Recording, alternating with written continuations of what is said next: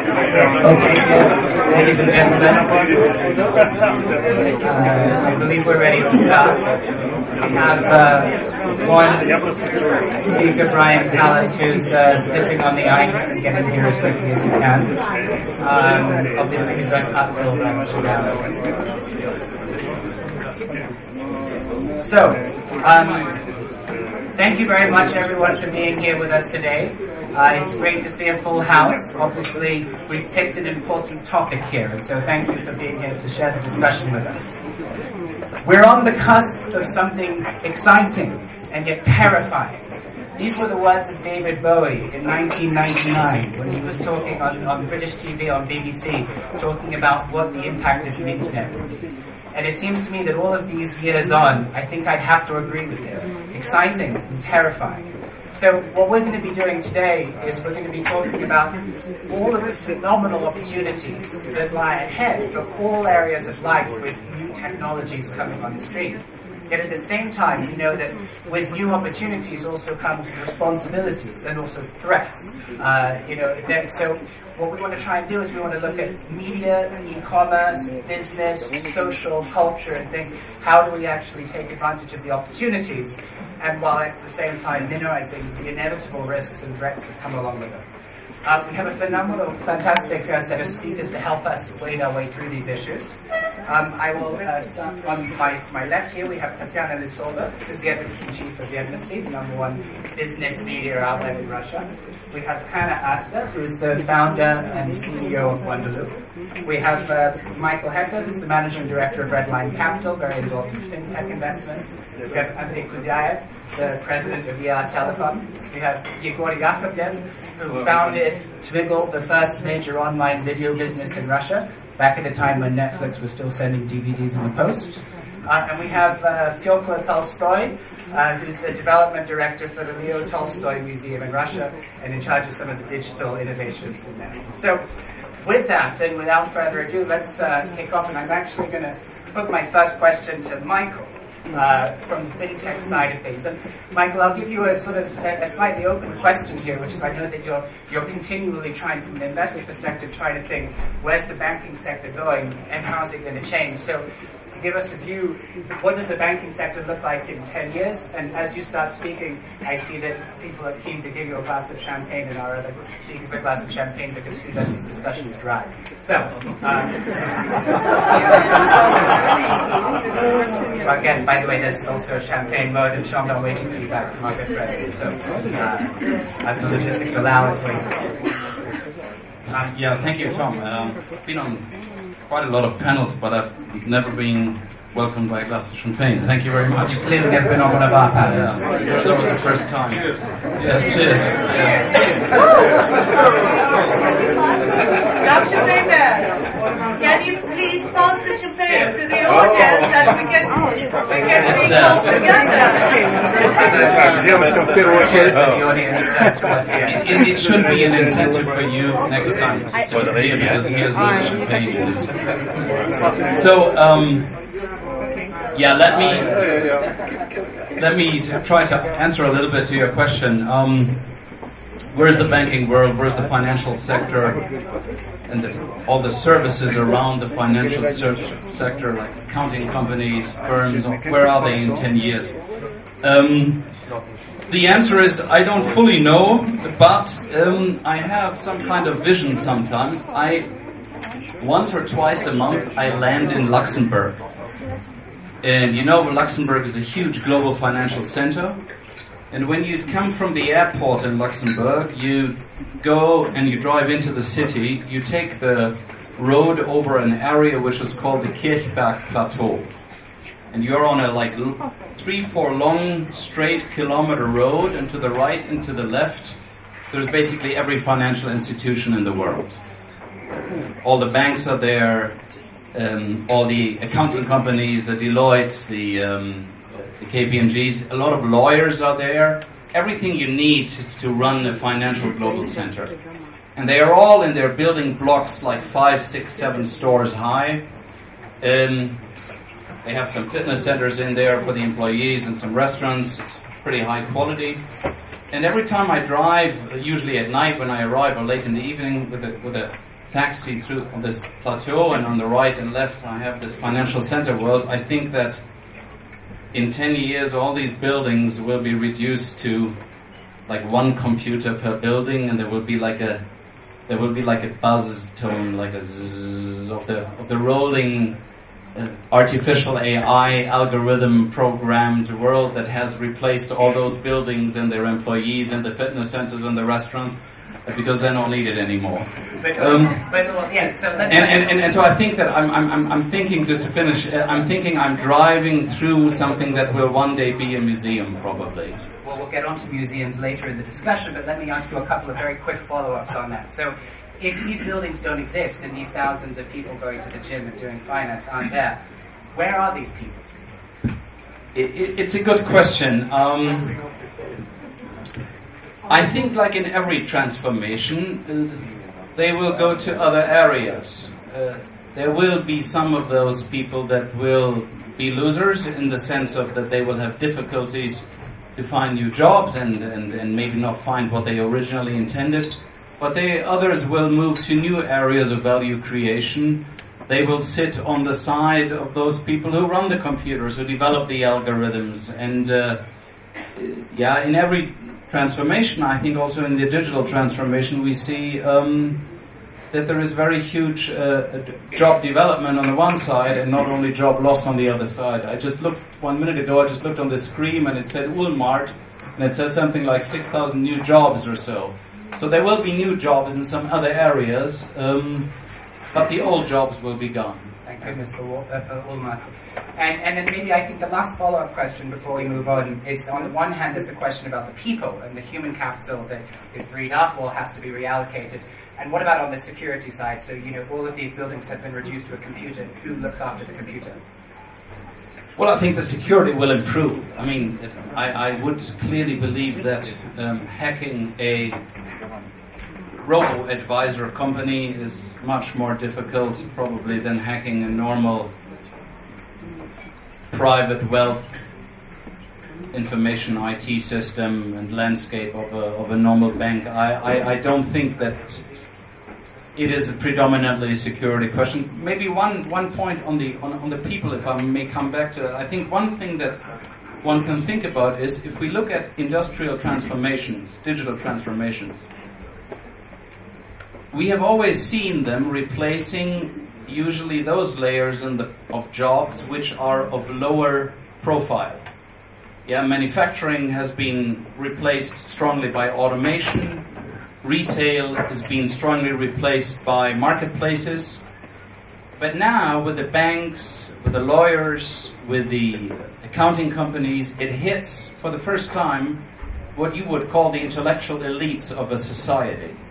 And I, this is, I think, a challenging aspect for the societies of the future that the digital transformation attack is something that hits societies not at the bottom, but very much at the middle or, or almost at the top. Uh, or at least in an upper layer. And this has never happened historically before, neither in the 19th or the 20th century. Okay, so we're going to come back on a couple of these themes a bit later, but let me move to Anna. Um, Hanna, your, your business, if I can summarize very crudely, but is in the sort of connecting people era, not to sound like Nokia. Um, in, so, in, in your world, what does your work look like in 10 years? You know, what is the innovation? Is it virtual reality? Do we all have to walk around in headsets? What does the, this, this world look like for you? Well, it will be nothing but virtual reality and augmented reality. Uh, we are the first generation walking around with a phone as technology. We will be the last generation to also have a phone. Phone is disappearing. Uh, basically, Apple will be coming with glasses instead. And this is our new reality. Um, for me and my company, uh, building a network where you can see people on video, this is obviously what I predicted and why I started my company. Uh, five years ago, I, I soft launched an iPhone app way too early. Everyone was like, why would anyone want to be on a video profile, a video identity? Uh, now, obviously, video is exploding, and the world I pictured, where we no longer only see people on photos, like we do on LinkedIn photos or Google photos. Now we actually are entering the world where my world is the video profiles, and then the next one where we're entering is you will be able to be standing in the same room with the person, with me in my living room in Norway, and you in Russia, but we will still be in the same room, being able to connect. And this will change, obviously, the way strangers and new connections are made and the way we work, and it will it will it will change our lives and the world as we've ever seen it. But maybe I, I thought we might come back to you as I hear you speak when you say, I can be in your living room. What if you don't want me to be in your living room? I can knock on your door though. So in yeah, so in uh, in virtual reality, I can walk up to your door, like in your house, like in your office, and I can knock on it, and you will be able to see that I'm at your door. Okay. So Not twice. Not twice. Um, I'd like to move the discussion over to media here. Um, we have Tatiana Osoba, who I mentioned, and also you, Igor. Um, the question is really to the two of you, and I'll, perhaps we can start with Tatiana. So, as I look at the sort of the media industry and this sort of traditional media model, I think it seems clear that we're going to have some very big change here. On the one hand, I see a complication and a bit of a challenge, which is that if I think about Vedomosti, I know without a doubt that I read Vedomosti every single day, but I don't think I really go onto the site anymore, much less read the paper. And so there's just this kind of expectation, and I'm counting on the fact that the material is going to somehow reach me through other channels. Does that create a challenge in terms of maintaining the connection with your readers? Then you have the other issue of just more and more different types of media and channels that are being created. Um, I might know very well that I trust the Vedomosti and maybe not some others, but the more that they start to look the same and come online and reach you in the same ways, how do we differentiate where's the quality and, and where's not? So those are the challenges. On the other hand, clearly with technology, there's massive, massive opportunities to really take this model forward. And so maybe, Tatiana, I can ask you the question, where, where is Vedomosti? You know, or, or, or similar in 10 years' time?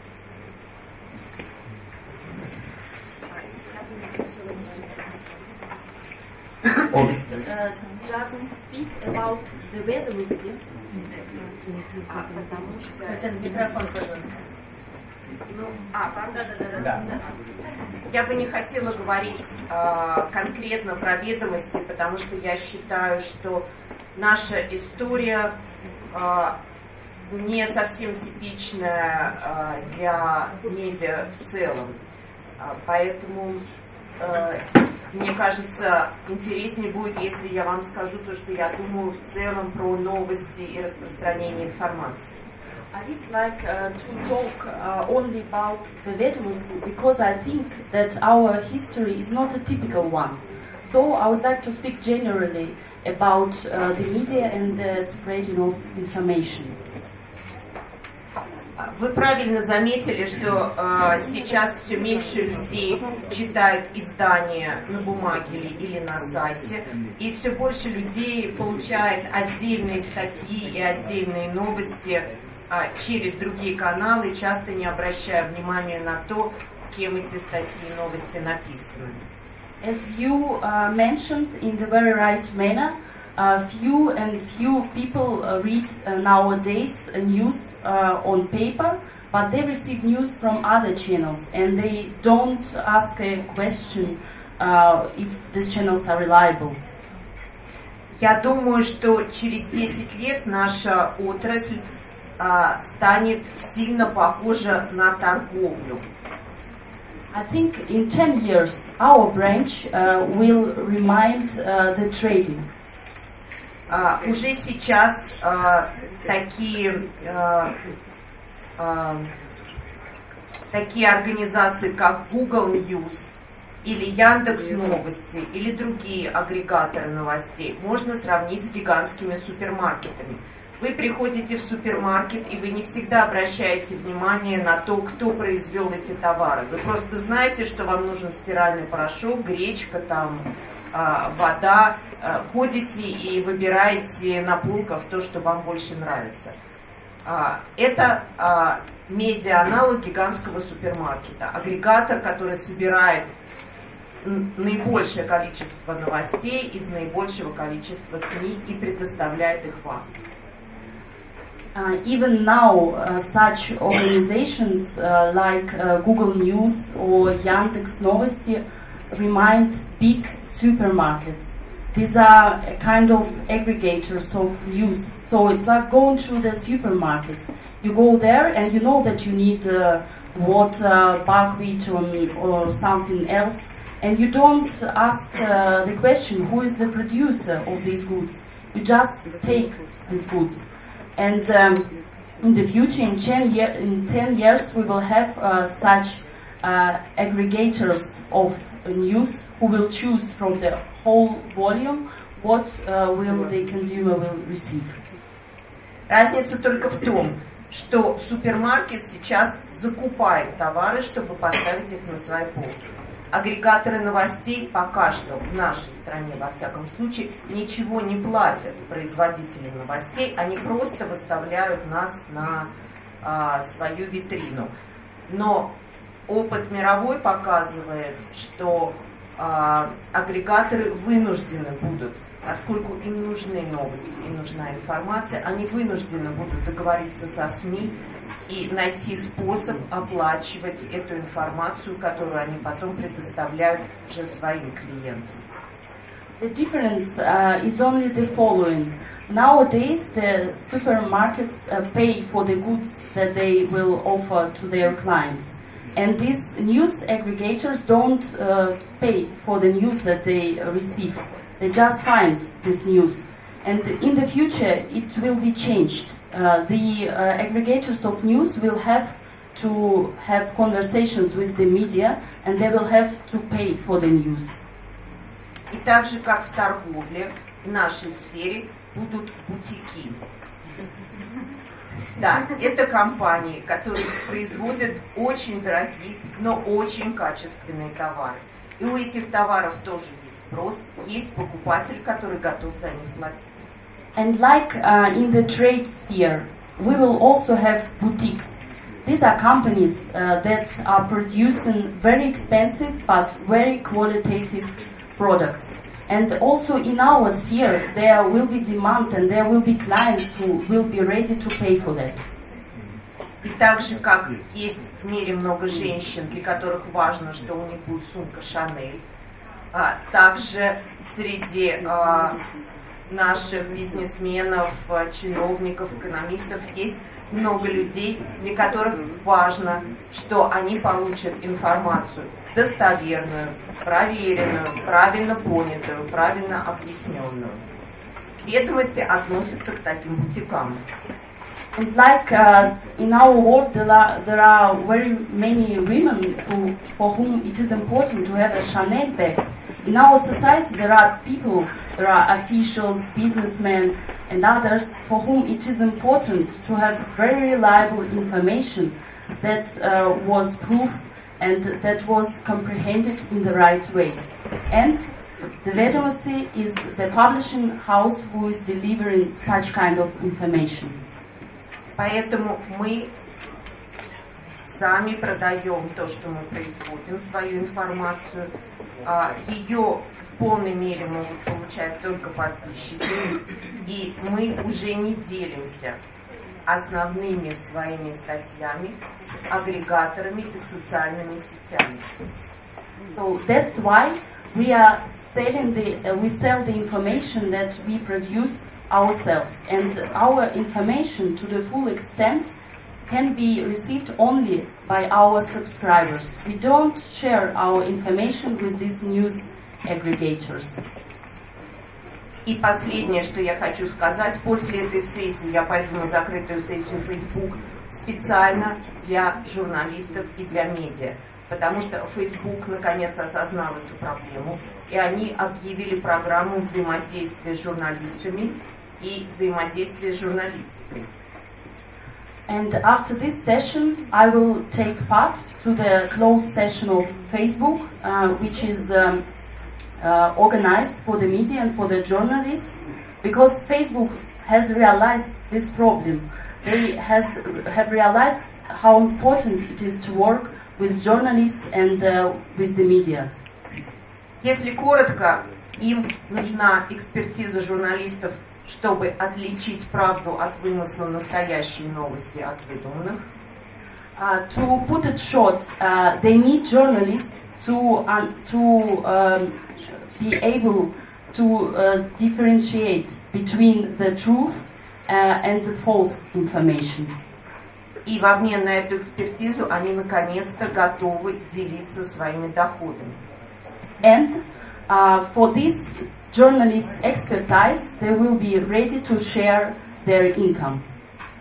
Поэтому я считаю, что через 10 лет э, нынешний медиа превратится в тесный альянс глобальных распространителей, таких как социальные сети, агрегаторы и поисковики, и производители контента, таких как традиционные медиа.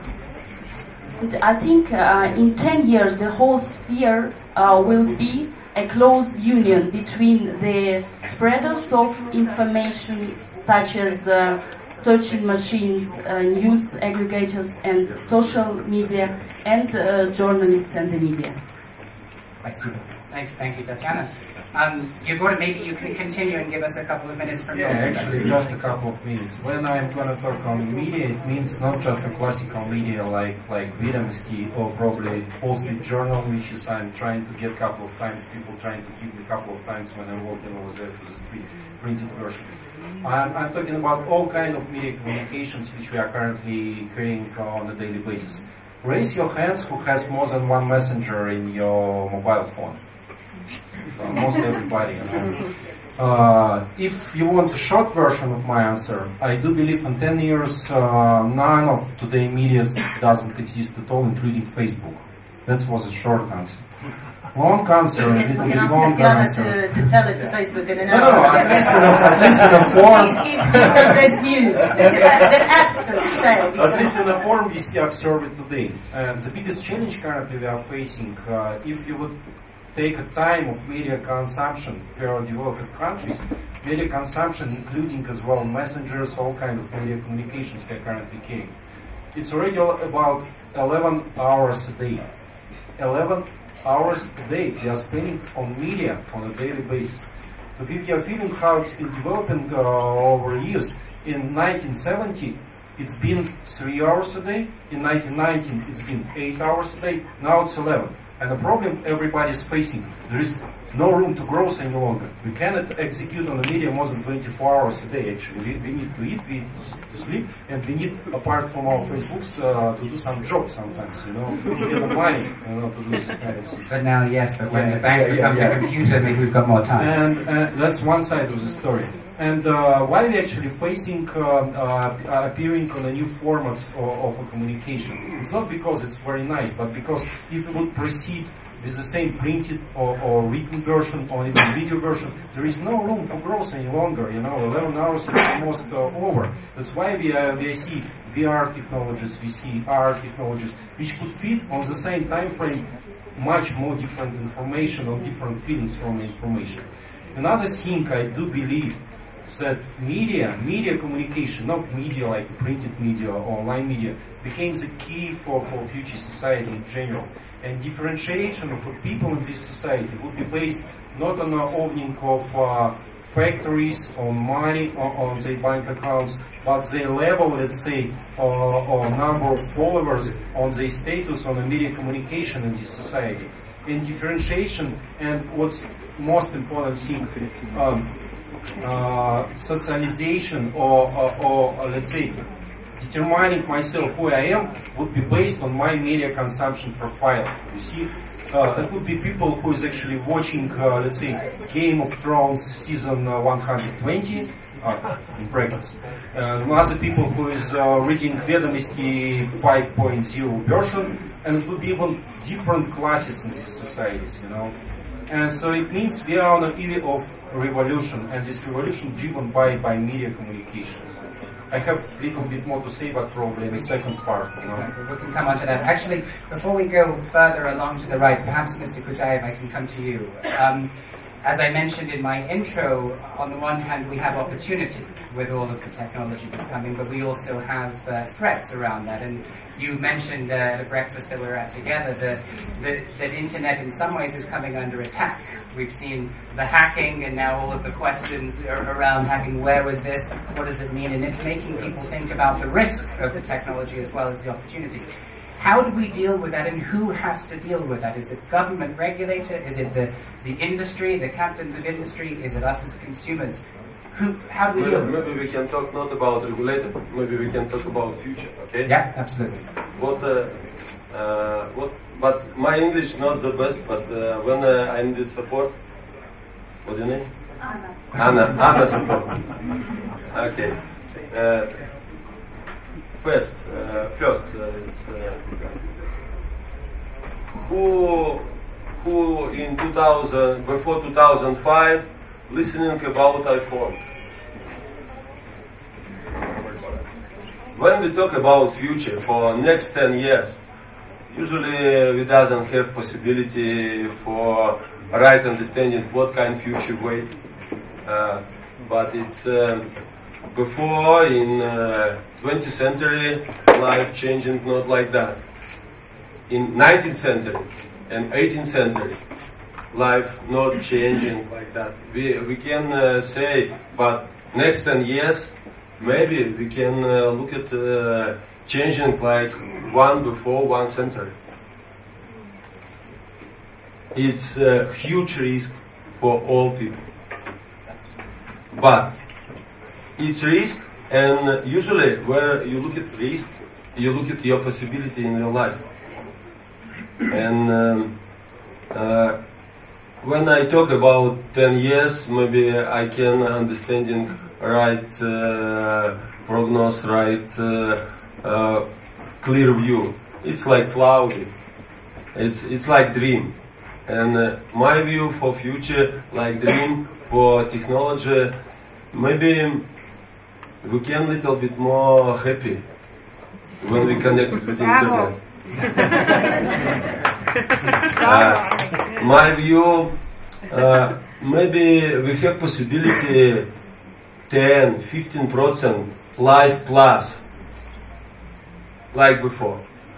One question: When you go to shop, you take it your credit card. How many seconds or minutes you wait when proof your check? Not very many. Yes, you lose your life when you wait. when you call your friends, you wait. When you connect into with Facebook, you wait. When you wait, you lose your life. My dream, not lose life.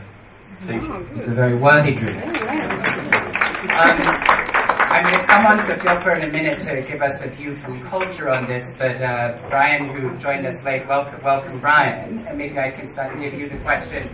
Um, your business is, is again, in, in two words, about connecting projects and money and finding a way, helping companies and projects to find investors. Now, my own perce- perception of this is that this kind of investor communication and investor relation industry has been one of the conservative ones.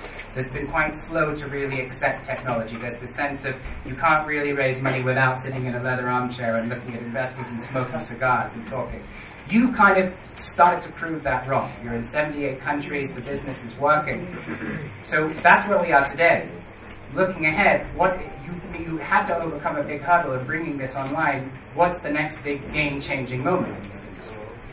So, uh, in this industry and in general in fintech, uh, what really is changing is uh, what companies are trying to do. Of course, we're all trying to solve problems, and there are different kind of problems that today are not solved uh, in a very efficient way. But there are, in terms of uh, methodology, two different ways to solve a problem. One is say we're much better at doing this. Let's kill whoever is doing it, and let's doing it in their place. And another way to, to do it is, hey, the system is inefficient. Let's contribute to the improvement of the system. And uh, one is called digital disruption, and we heard about that in the past. And the other one, we like to call it digital symbiosis. So a way that doesn't destroy jobs, a way that doesn't kill incumbent in the business, and a way that really enables um, sustainable growth and development. So we believe in uh, digital symbiosis, and that's what we start seeing uh, as a change. Because in the beginning, you see all these companies that come in and start disrupting uh, what exists, and of course, the big incumbents don't care too much because they are growing very fast, but they are really small, so it doesn't hurt. But when when these companies start to grow, of course, uh, incumbents start fighting against them. And uh, um, I'm in financial technology, and uh, if I think that something like Uber is facing significant uh, backlash from uh, taxi drivers, which are not particularly wealthy on their own, nor very organized, I can only imagine what a bank could do to fight back with uh, a much more organized structure and way more capital and way more influence um, to, to stop uh, digital disruption. So we'd much rather play with uh, the existing players, and in fact, the way we, we matchmake is not by saying, okay, these are great investors, these are great projects, um, why don't you meet each other? What we do is uh, we're working on a global basis with all the best banks, and those banks are willingly bringing their best customers into our platform for them to do business together. And those could be uh, investment deals, but those could be uh, any type of uh, transaction as long as they're worth a million plus. So it could be uh, supply agreements, uh, distribution agreements, and so on. And we are really good uh, not only at convincing banks at doing that, but at giving them the incentive to do it. So that in the right mind, it is in their full interest to join and join fast. So as long as you can, rather than replace a system that is not really efficient, you can organize it and incentivize it to work in an efficient manner you're saving so much energy. And also you are having a positive impact on, on the world at large. Uh, what I see is that my generation is way more conscious about uh, externalities, which is uh, what people like to call today impact. So uh, when your business is doing really well, but you're destroying jobs, you're destroying GDP, that is going to have an impact on society. So if each one of us disrupt a piece, in the end, what is left? So it is going to hurt me in proportion. Of course, um, I'm not incentivized uh, as disruptor to save my own piece, but if nobody else is as well, we're going to destroy the whole ecosystem. Instead, our generation of millennials are really thinking, okay, how can we bring a positive impact? And for that reason, the mission of my company is to grow GDP per capita. That's, that's what we do. And also, of course, we're a for-profit company and, and we're doing extremely well. We went in two and a half years to 100 people and uh, we matched the $150 billion worth of transactions over the last quarter. So um, it is not true the paradigm of uh, you have to do stuff on your own and you have to disrupt um, the ecosystem. You can build on what exists uh, much more successfully. So that's what I see in the next 10 years, uh, building on top. Thank you. And, and Michael, I'm going to come to you for a sort of an investor view on some of these themes that Brian has talked about here. Um, but let's, uh, before we do that, move over to a slightly different field here, which is culture.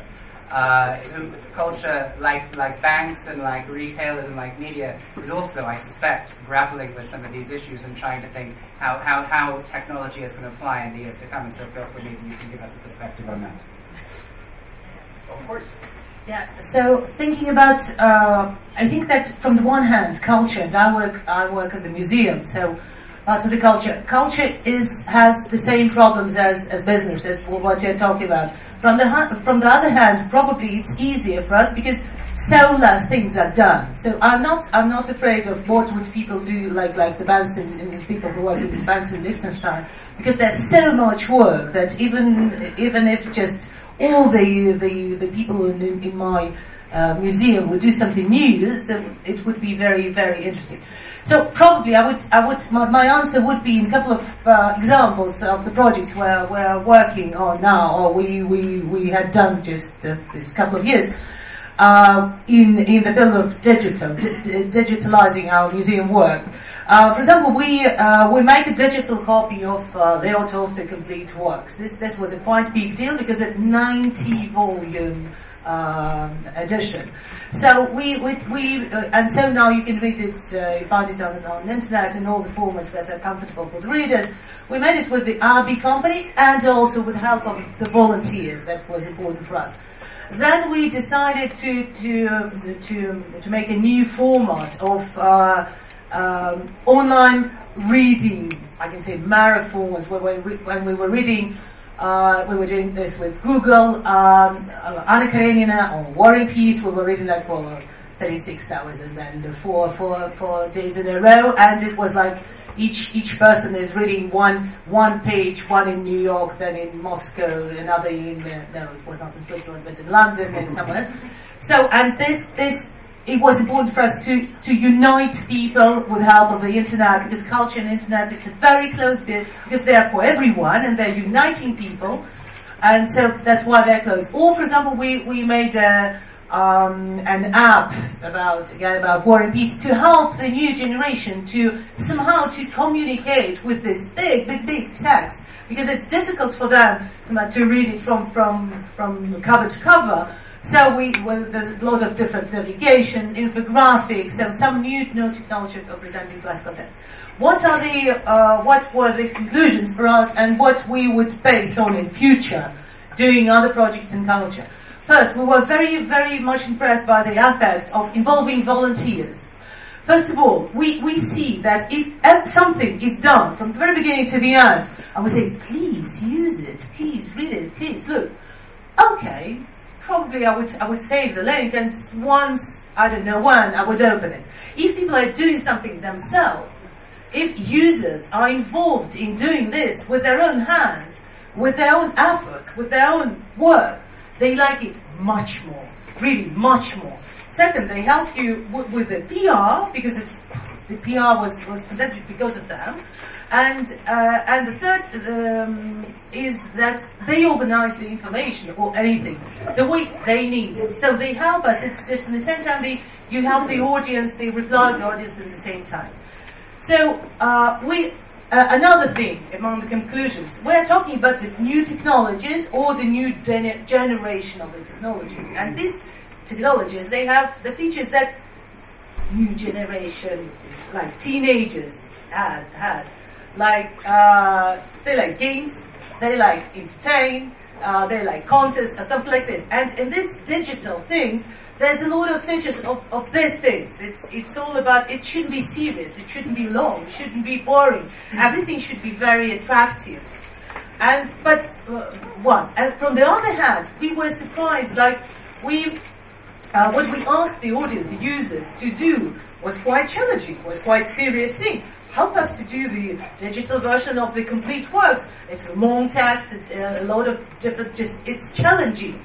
But they were very thankful that we trust them mm-hmm. and we give them responsibility on doing some some quite important work. We, we don't treat them as children. Oh, you want to just just to play with the, with the information? Oh, we, we'll give you some some funny things. No, and and they did their job very well. So what would be in ten years? I think I think that all the things in in my field, culture, will have digital copies i available, museum collections, all the don't know, music, text, everything, everything. That is that is uh, that is not a big problem. For me, the key thing, the key question, and the key challenge uh, is how to communicate, how to build this bridge between these millions of gigabytes that you have and the audience, and how to find this new way of uh, of uh, of giving them this information. Because the, the technology uh, now is much more advanced than the ideas. And we can't live quicker than we live. That, that's why I'm thinking about what Andrey said. And I can't live quicker than just one second when I pay or one second when I go somewhere if it would be even quicker it would be crazy for me. So we, we need new ideas, we need creativity, we need a lot of people, we need this human capital to do something with all these gigabytes, yeah? And, uh, and I think that the, uh, the secret is, uh, as in all media, the secret is to, to go with the, to communicate with the help of emotion. No one is interested in rational information. We can find it, uh, we know that we find it and it's enough. But uh, going through, uh, applying to heart, not to only to your mind, this is probably the, the secret of the future. I don't know. I try to use it. if you need to hire people, I think you should go to Liechtenstein because it sounds like a few people are going to become available. uh, if they're very talented, very gifted. Okay. Some of you. Um, Michael, so you look at this again from the sort of the investor side. So you're the money here, and, and you've had a number of different ideas about how this might evolve. You've had Brian, who represents a sort of a, a, a fintech business, talking about actually not disruption but symbiosis.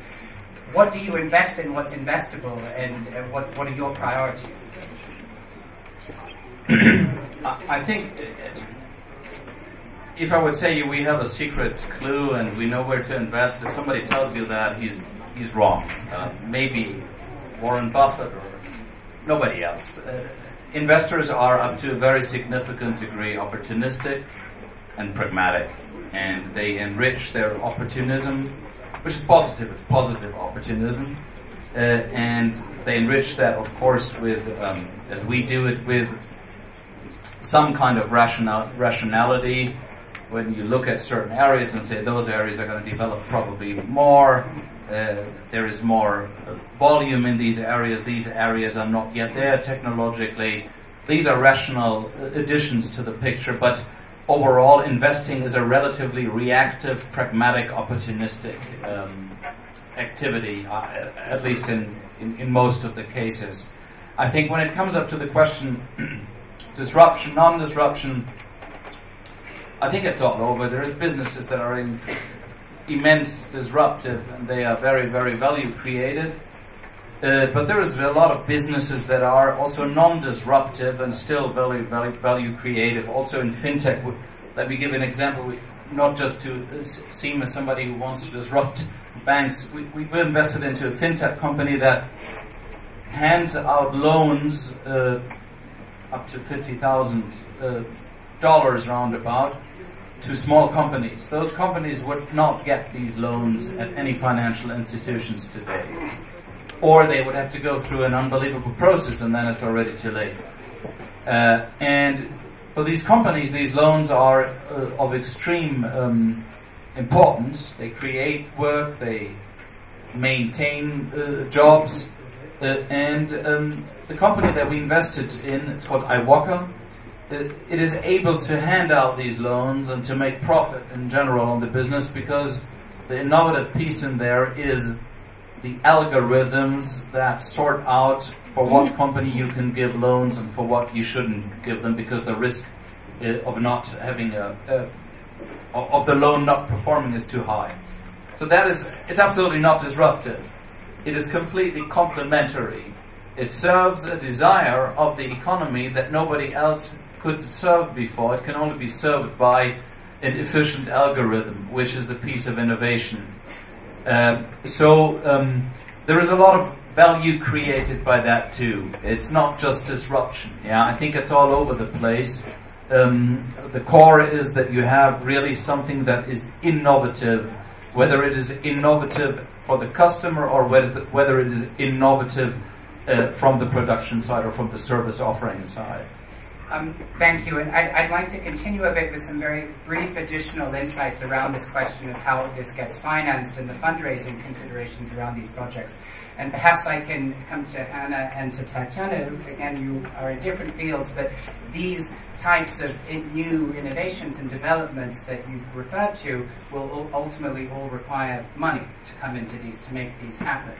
And so perhaps can you give us any perspectives from your respective fields as to how you can persuade the investors and the financiers of this that this is going to work because everyone's thinking about slightly different directions and ultimately there are only so many people to finance these and so how do you make these fundable in terms of these initiatives perhaps Hanna you can start and uh, Tatiana you yeah, I mean, right now I wouldn't do any investments because we don't know what we're walking into. The world we are about to walk into is, is it's, it's mind blowing. And it's like we're sitting here in the 90s, wait, and the internet and the phone is just about to arrive. And as a company, if you're making a strategy for 2017, if you're considering investments, you have to buy a VR AR headset because this is our new future. Um, so I mean, for like the raising money, I mean, the one you believe has a, like knowledge about this, that has, you know, something like that has him see the future in some way. But right now, it is hard to tell a person who's never seen a phone and try and explain the impact and how it will work if you've never touched the phone. And right now, that's that's the exact same thing with what we're about to embark. Um, so as advice, and it's just buy the step. It's going to seven thousand dollar HoloLens from Microsoft or whatever it is. But if you're a company or an investor, you need to get that headset on you straight away because it's going to change every single industry out there. Tatiana, would you be able to add a, a, a, few comments in terms of, so you mentioned the, the boutique uh, in terms of the higher quality media outlet, which we had as an example, but at the same time it can be challenging to finance these, and sometimes the financing is required before the revenue starts to come in. Do you see this as a challenge to realizing the, the vision that you set out in your first answer about the future media model?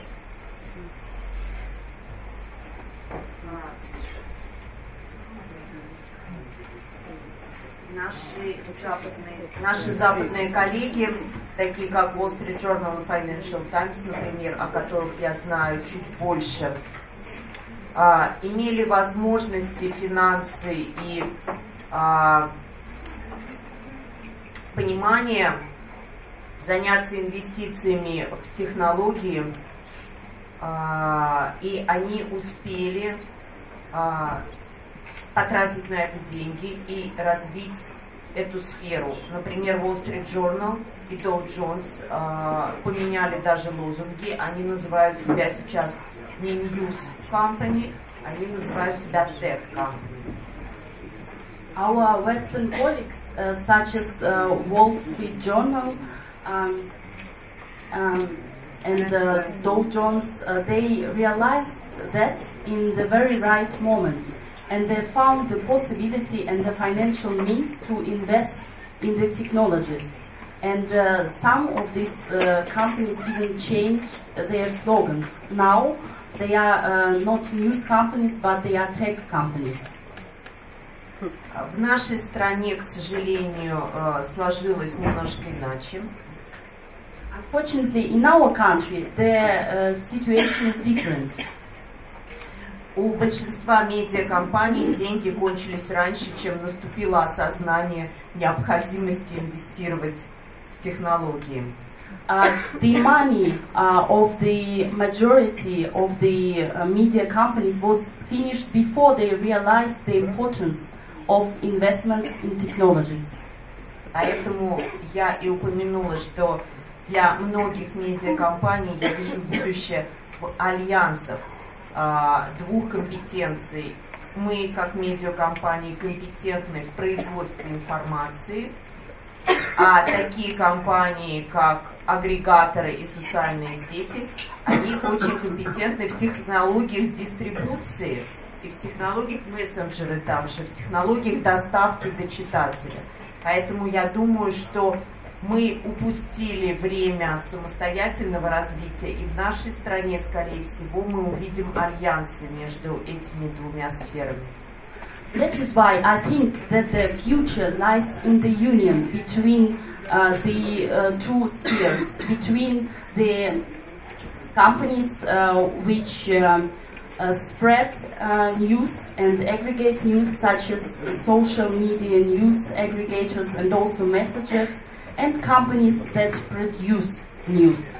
I think uh, that uh, we lost our opportunity to finance this process ourselves, and this uh, union will be important in our country. Um, Andrey, maybe I can come to you. Now, the, the nature of your business uh, in the telecom world is that you're in some ways the sort of the backbone and infrastructure backbone behind many different industry sectors.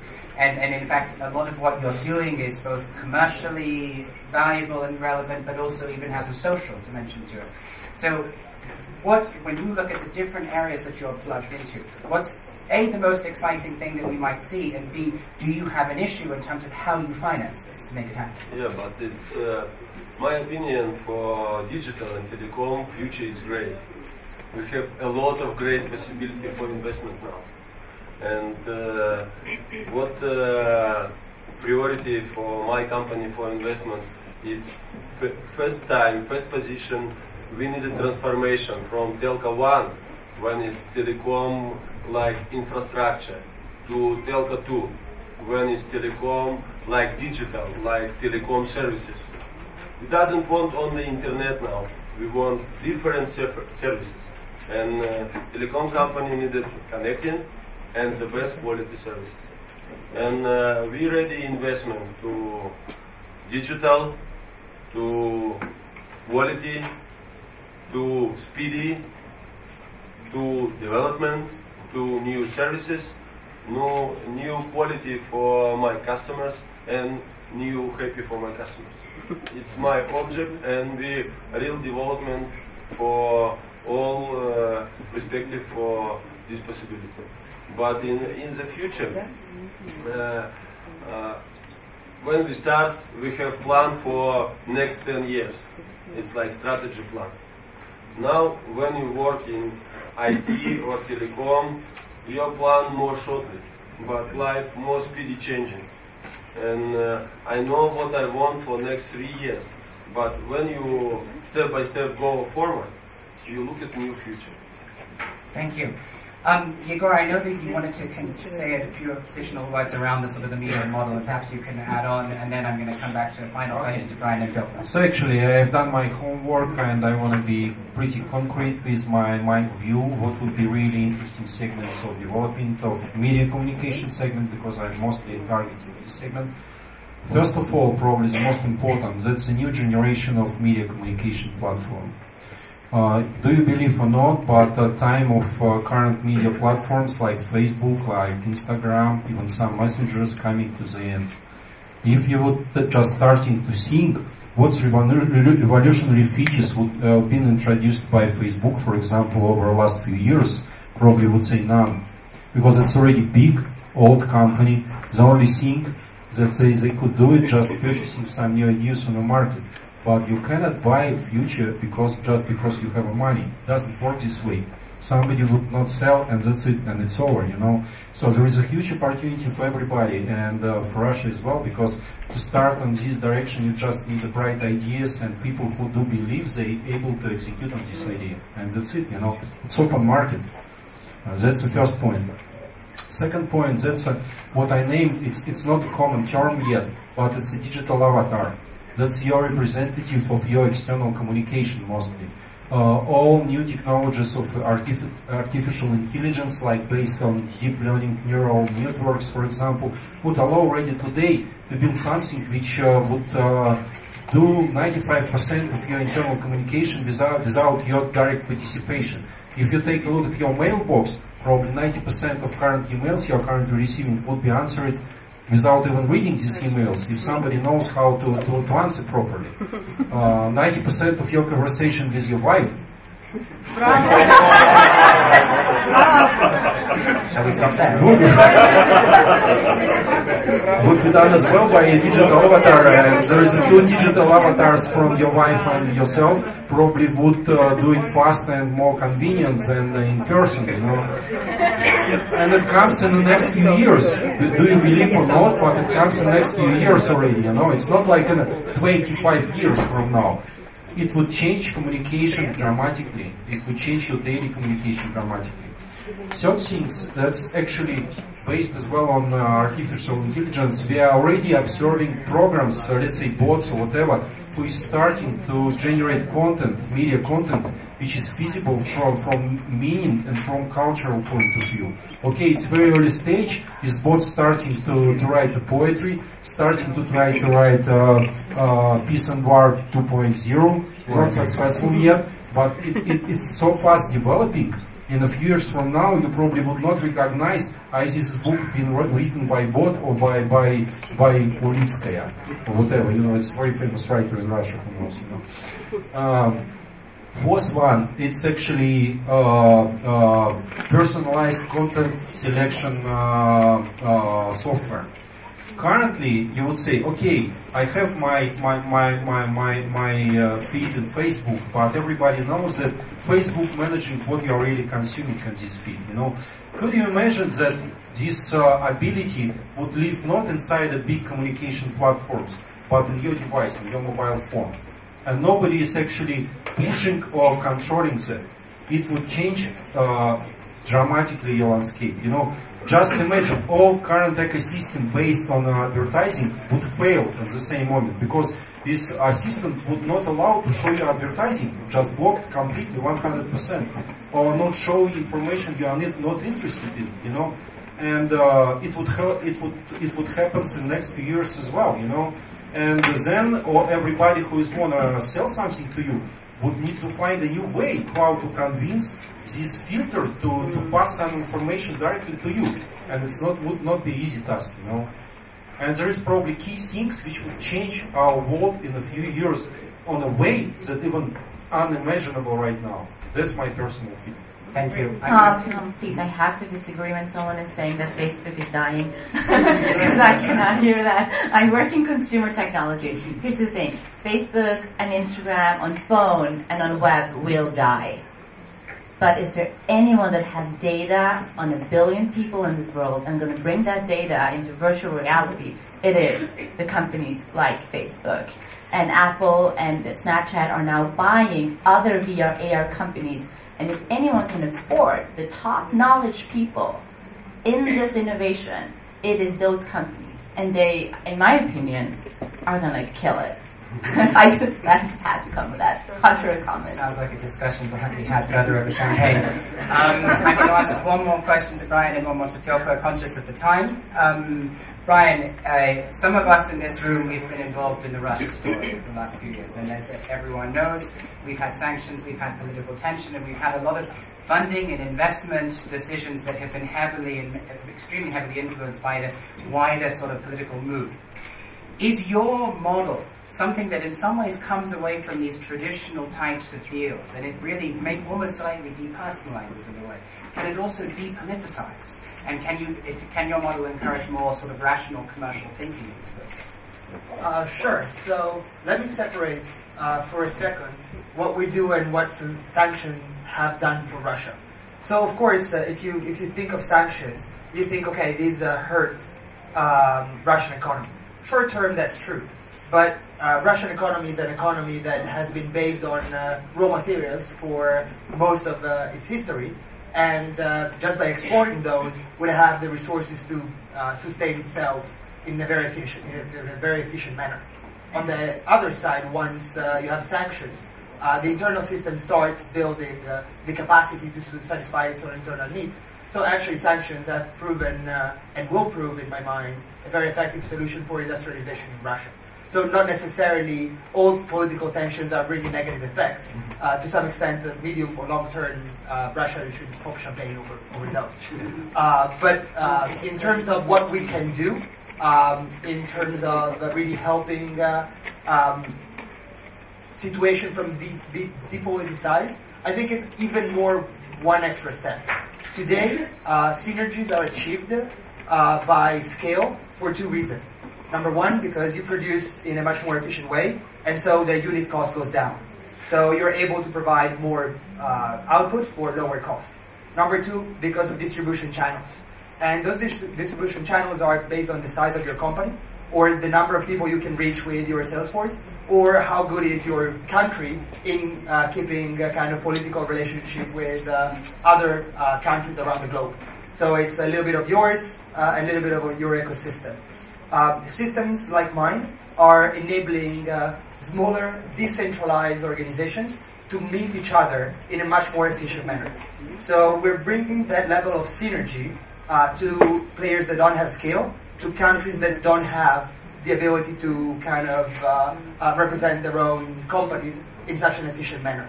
So for that reason, we also got three governments uh, of developing countries to endorse us officially because we're bringing transparency to those countries on which companies are worthwhile working with, and uh, uh, we're enabling those companies to efficiently work around the globe. And this applies to Russia. Thank you. And so we're going to end up on culture. Uh, ten years' time, I've heard from Hanna that virtual reality is, is coming on stream, and it's only a matter of time before this is how things work. I love going to the Louvre, but if I live in San Francisco, Paris is far away. I love going to Yasnaya Polyana, but if it's January, it's really cold. Can I put on a headset and sit back and sit in my comfortable armchair and save the minus 35 degree weather? Is that what's going to happen in 10 years' time? Uh, probably, and I think the virtual reality is a very good technology for, for the culture, for the education. It's perfect because you can you can do you can build the world that does not exist anymore. You can just every all the, examples that you gave and even much wider. But from the other hand, I, I wouldn't be so impressed by virtual reality like everybody's talking about virtual reality now, because this is just the new technology. The same thing about the touch screens that well like three years ago, I didn't remember what was it, five years ago. We were touching, if we saw some screen, I don't know where, in the shop, in the commercial center, or in the museum, everyone was touching every touchable screen. Yeah, and now we don't do this. We're not interested. So we, we now are impressed by virtual reality because this is just cool, new technology. For me, the key thing, as I, I already said, is what would be, what is the content. So, so we should, we should, we should don't, don't forget about the the the uh, it's very fashionable, and we are home. Let's do all this. Uh, for example, in the museums, uh, people now put a lot of digital things in the in the in the halls, and, and just they think, oh, the new generation, the children would come, and this was would attract them. And the the the pupils from school, they come and they don't pay any attention because for them, this is their reality from their uh, their homes, and they want some some something else. So it again depends on what would be in your uh, VR. If something interesting, good. Sounds very good. So with that, I think that I, my, my final little very quick takeaways, because I'm conscious of the time. Number one, I've taken note of the fact that soon we're not going to have to talk to our wives. Um, uh, soon Facebook will be dead or will not be dead uh, and media is becoming technology companies, and life is too short to wait for your credit card. Uh, credit card. you, you, can you can look at this picture probably. That that I mean. Aha. Uh, yeah, it's probably all the conclusions of, of the discussions are there. We, yeah. we, you, you can check whether I'm right about the conclusions because we have some parallel conclusions drawn over there. So feel free to go and photograph it so you can remember what was discussed here today. With that, Tatiana, Hanna, Michael, Andrey, Egor, Brian, Fekla, thank you very much for joining us and thank you to all of you for speaking with us.